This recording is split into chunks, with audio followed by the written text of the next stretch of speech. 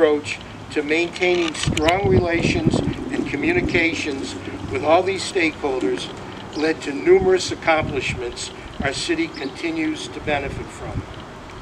But sadly, the last few years of the current administration has shown that even our great city has major problems that haven't been addressed due to a culture of inaction and combativeness.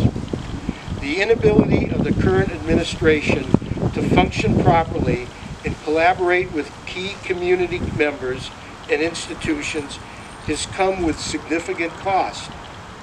Framingham has missed out on opportunities to more rapidly recover from the damaging impacts of COVID-19. We missed out on chances to better advance our public education needs.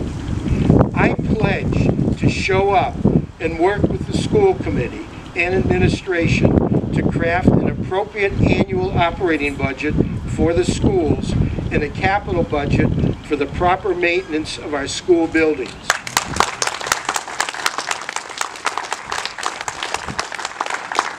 I will fast-track the planning for a new school on the south side of the city to enable students from that area to attend a high-quality neighborhood school without spending hours every day traveling on school buses to other parts of the